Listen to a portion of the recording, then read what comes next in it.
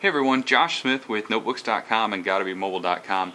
Today we're going to show you how to watch live TV on your iPad or iPad 2. We're going to use the Time Warner Cable TV app, which just launched today, and this will allow you to watch 32 different channels on your iPad as long as you're connected to a Time Warner Wi-Fi connection. Uh, in this case, you do need to be a Time Warner cable subscriber and a Time Warner cable internet subscriber for this to work. When you launch the app, you'll see that you have a channel guide over here on the left. So we can scroll through and we can see what show is on, and in blue, in some occasions, we can see what the title of that show is.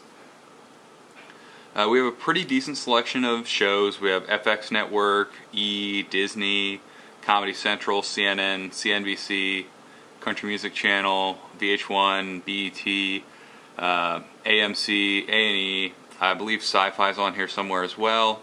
History Channel. A pretty decent mix of of channels. When you tap a channel, it'll load the channel up, touch the screen, and it'll slide away. Give you a tiny bit of audio here.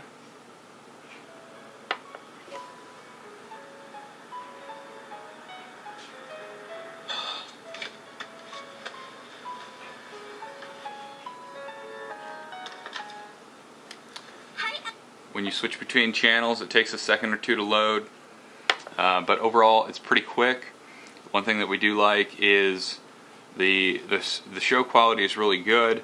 Uh, one thing that we have run into a few times, we'll see if we can pull it up here. This is live, so you, you can't uh, pull up on demand or anything yet, which would be a really killer feature. Um, looks like we had a little pixelation there, which is kind of be to be expected with Time Warner in any situation, uh, let alone over the internet. But uh, if we were to open up certain shows, we may notice that rather than have it take up the entire screen like this one is, uh, occasionally uh, if something would be boxed on your normal TV, it'll also be boxed on, on your iPad. So there are a few channels where instead of having this much viewing space, you're kind of cut down to about this much. Uh, but still, it's pretty nice to be able to watch your Time Warner TV on the iPad. Uh, you will notice that there is a black bar down here, as well as there'd be a black bar up here, but we have this header that we can't hide. It'd be really nice if we could hide that. Um, we have a channel history so we can hop back between our channels. There are no parental control controls, uh, so Time Warner recommends that if you want to prevent a child from accessing certain things that you log out completely. Uh, you log in with your Time Warner user ID. Uh, to create one, you'll need to go to TimeWarnerCable.com and you'll need your bill uh, so that you have your account number and customer code.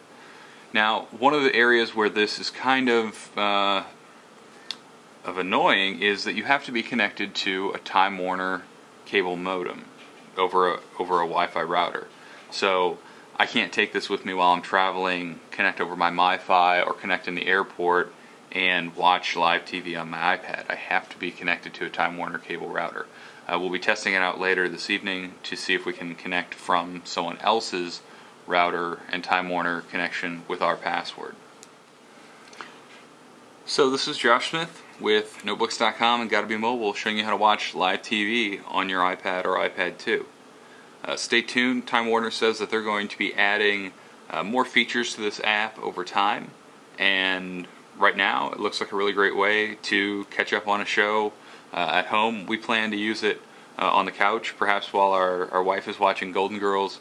Uh, we'll head over to Spike and see what's on over there.